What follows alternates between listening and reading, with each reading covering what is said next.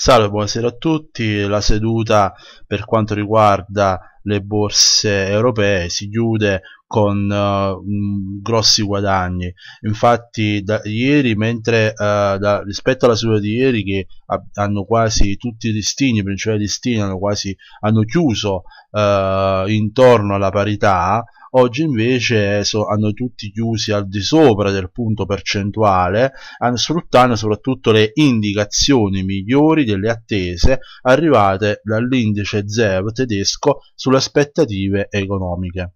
Vediamo quindi che cosa è successo. Il DAX ha chiuso al più 2,41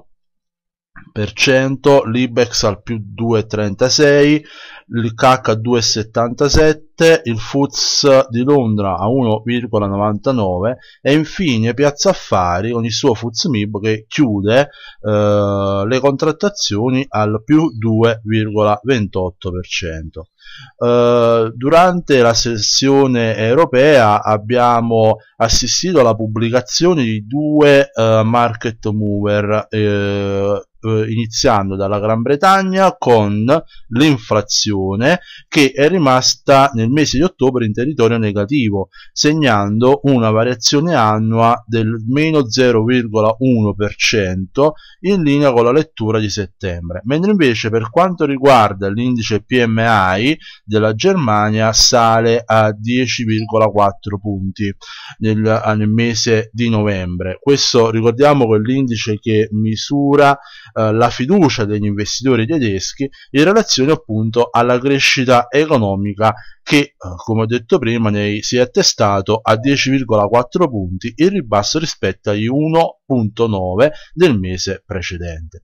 Poi durante la sessione americana nel pomeriggio abbiamo altri due dati eh, importanti macroeconomici con l'indice dei prezzi al consumo che è aumentato nel mese di ottobre allo 0,2 contro il meno 0,2 del mese di settembre. Il dato è conforme alle previsioni degli analisti. Ed infine infine abbiamo sempre dagli Stati Uniti la produzione industriale che risulta nel mese di ottobre in contrazione dello 0,2 in linea con il dato del mese precedente ma inferiore alle attese.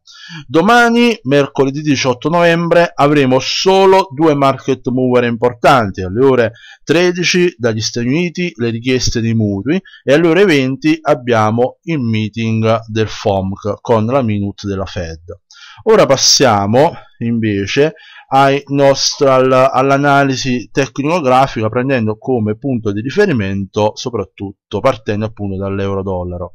Per quanto riguarda l'euro-dollaro, per chi già mi ha seguito già eh, domenica sera eh, nell'ultimo post settimanale anche nell'analisi di ieri, vediamo che noi già siamo a mercato short e prosegue appunto la discesa della coppia eh, euro che vede contrapposti l'euro dollaro americano che oggi si è portato fino a toccare un minimo a 1,0630 ieri invece gli investitori hanno cercato rifugio del dollaro dopo gli attacchi, gli attacchi terroristici di venerdì a Parigi che sono costati appunto come noi ben sappiamo circa 125 eh, la morte di 125 persone.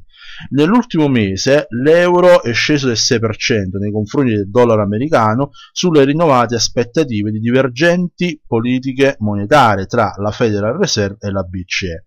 In particolare però dobbiamo ricordare che è cresciuta in maniera esponenziale la probabilità che nel prossimo meeting del 15-16 dicembre molto probabilmente la Fed potrebbe ritoccare al rialzo i tassi di interesse per la prima volta dal 2006. Ritornando all'analisi tecnicografica, quindi abbiamo detto che praticamente oggi abbiamo avuto quest'altro momento short che appunto è iniziato su questo punto di swing high in concomitanza non appena il prezzo la coppia ha toccato questa fascia di resistenza tra 1,08 08 e 1 e 0 e 08 e 17 quindi praticamente abbiamo queste prime tre sedute consecutive ribassiste al momento abbiamo detto che io sono entrato al mercato short per chi mi ha seguito praticamente la nostra operazione siamo a circa 70 punti. Uh, ripeto che abbiamo messo ho messo il target sotto a un po' più sopra del prossimo supporto e precisamente a uh, praticamente a 1.05 e 30 Uh, anche per quanto vedete l'RSI qua già mi, già mi ha segnalato con questa freccia a ribasso questo movimento short passiamo all'USD qua praticamente abbiamo, oggi abbiamo un altro movimento rialzista. Rispetto però diciamo qua si vede la differenza fra ieri e oggi. Ieri abbiamo una forte esplosione di volatilità mentre oggi abbiamo una volatilità diciamo in un range di circa 40 punti. Ehm, attendo il prezzo sopra la resistenza mensile questa di colore verde a 124,10 per vedere poi che cosa succede per poter poi decidere su da farsi mentre invece per quanto riguarda il cable anche qua nel rettangolo verde io ho evidenziato come già appunto eh, nelle scorse eh, sedute, le scorse analisi, per chi mi ha seguito appunto qua ho già evidenziato questo punto di swing high ehm, dopo questa fase di correzione rialzista eh, all'interno di questo movimento di medio periodo che è iniziato esattamente il 15 ottobre vedete tutti i massimi e minimi crescenti. Quindi qua è la fine della correzione quindi che evidenzia questo swing high dovuto praticamente a questo massimo che è superiore al massimo della candela precedente e quella della candela successiva. Anche qua ho inserito un pendente a mercato che è stato triggerato. Solamente oggi cosa è successo? Che con il dato sull'inflazione il prezzo è scattato e risalito verso sopra. Fino a poi correggere nel corso della seconda parte della seduta ed uh, adesso siamo in area 1.52 e 10 in questo momento è informazione quasi una doge mancano circa un'ora, un'ora e mezza dalla chiusura dei mercati ma eh, ritengo che molto probabilmente domani potremo assistere eh, a un eh, movimento short.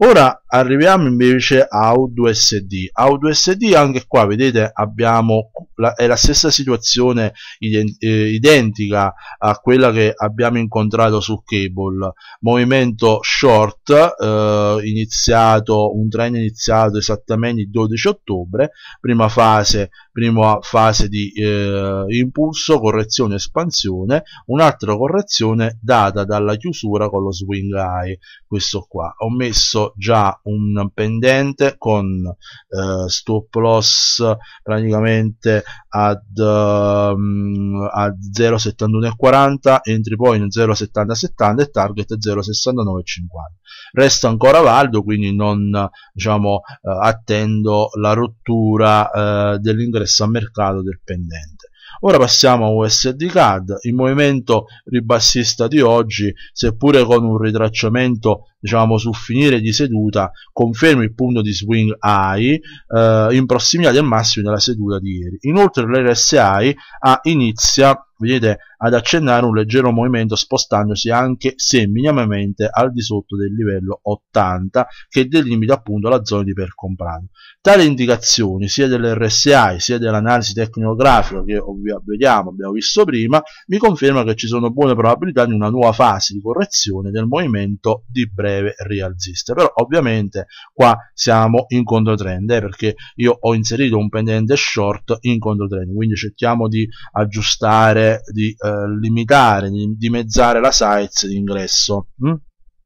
ok quindi inoltre un altro elemento a favore di un possibile movimento bearish è dato dal rimbalzo eh, verso il basso che la coppia ha subito non appena appunto vedete qua non appena ha toccato questa resistenza 1.3360 questa resistenza di colore rosso giornaliera dalle indicazioni quindi eh, ieri perché per chi mi ha seguito ho deciso di anticipare le mosse del mercato inserendo in macchina un pendente di vendita, rottura del minimo della candela di ieri, vedete qua. Al momento non è stato triggerato, però eh, lascio tutto come sta, lascio l'operazione a mercato.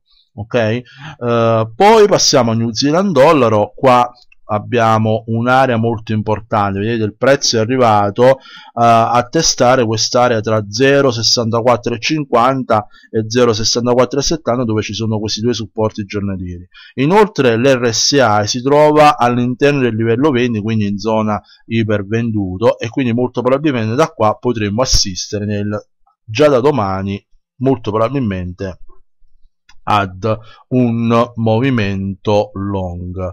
Anzi che cosa faccio? Siccome qua vedete c'è stato un forte forte spinta verso diciamo vedete c'è stata una falsa rottura e eh, già stanno rientrando i compratori. Che cosa faccio adesso? Praticamente vado a inserire un pendente con eh, uno stop loss un pendente di acquisto con ehm, in pratica uno stop loss esattamente a 0,6440 quindi metto un buy stop a 0,6440 lo, eh, lo stop loss qui.